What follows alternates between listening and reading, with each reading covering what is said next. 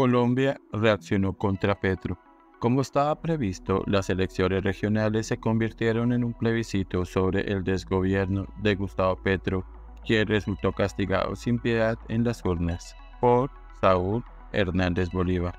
Como estaba previsto, las elecciones regionales se convirtieron en un plebiscito sobre el desgobierno de Gustavo Petro, quien resultó castigado sin piedad en las urnas. La derrota de su partido, el pacto histórico, fue contundente, teniendo respiro en apenas unas cuantas regiones que están cooptadas por la delincuencia del narcotráfico, que ha tenido en Petro un verdadero defensor, como Chocó, Cauca, Nariño y el Magdalena.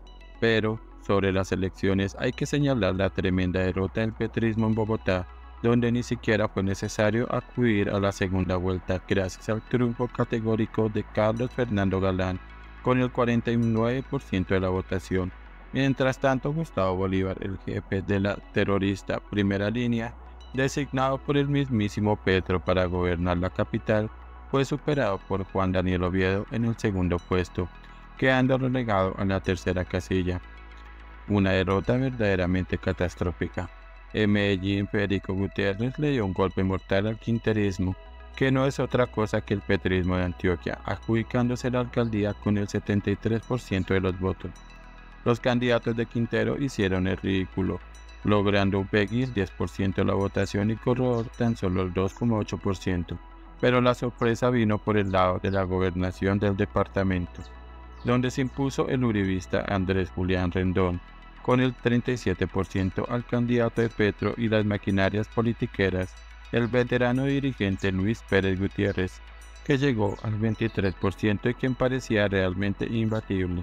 Todo indica que el electorado le cobró su cercanía con Petro, una estrategia que prácticamente marca el final en la política de un hombre de 70 años que tiene por delante mucho por explicar y muchas investigaciones que afrontar.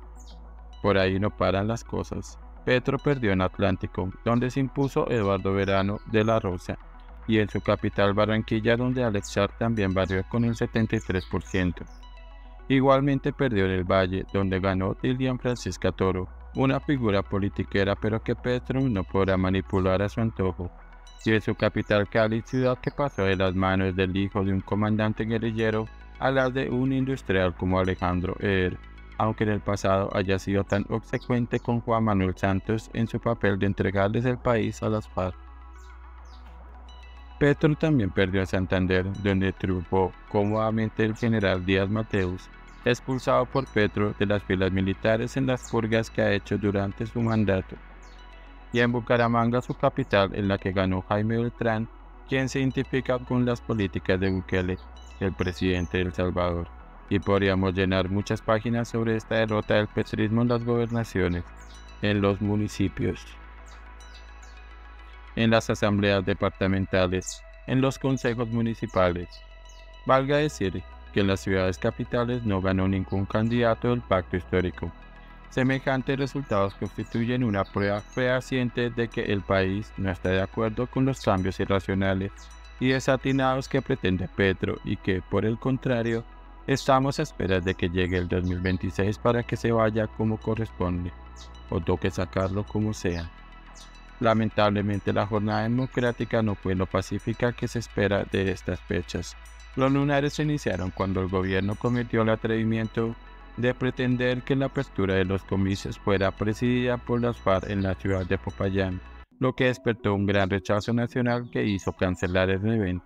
Luego, el sábado, vino la toma criminal de las instalaciones de la registraduría en Gamarra donde una turba incendió la sede por la inhabilitación de su candidato, provocando la muerte de una funcionaria. Y el domingo hubo azonadas en más de 20 municipios de todo el país por el resultado de las elecciones, incluyendo ataques a alcaldías, sedes de la registraduría y lugares de votación cosas que ya habían pasado a la historia antes de que la llegara el señor Petro al poder, con quien este país no ha hecho más que retroceder. Por eso hay algo que ha quedado muy claro. El gran perdedor de las elecciones de ayer se llama Gustavo Petro Urrego